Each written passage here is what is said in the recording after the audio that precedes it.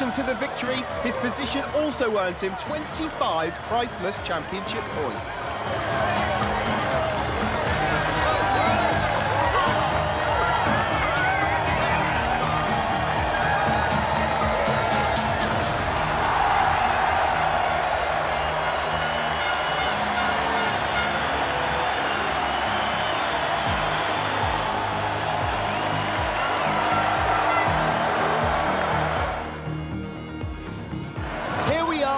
Podium ceremony. It's a weekend where everyone gave their all. But today, these riders have shown that they had a little bit extra in the locker. The crowd is going wild, and finally, they can enjoy this deserved moment of glory.